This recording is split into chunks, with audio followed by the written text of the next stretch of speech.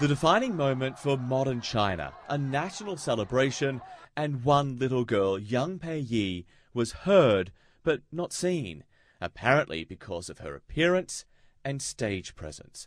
Games organizers confirmed to CNN during the opening ceremony Yang's voice was used by another little girl. Lin Miaoke was mouthing the words to Ode to the Motherland as China's flag entered the stadium. The opening ceremony's musical director explained why on Beijing radio. The reason was for the national interest, he says. The child on camera should be flawless in image, internal feelings, and expression. Lin Miaoke, he went on to say, is excellent in those aspects. The decision, he says, went as high as the Politburo.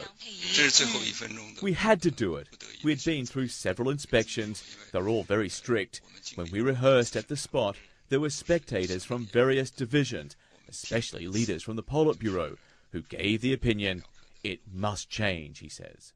Few here realize that Lin was lip syncing. Tiny singer wins heart of nation is the headline in Tuesday's China Daily.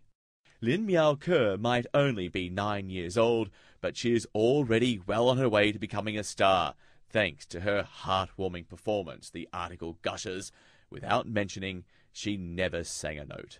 But as word gets out on the internet, some Chinese bloggers are outraged. If you're not good looking, no matter how well you sing, you'll not be on stage. Do you know you're twisting a whole generation? read one comment. If foreigners found out, they think we can't even find a girl who is good at both, read another. As for seven year old Yang Peiyi, she reportedly says that she's just honoured to have had a role in the opening ceremony in the first place, even though few here realise just how big her part really was. John Vause, CNN Beijing.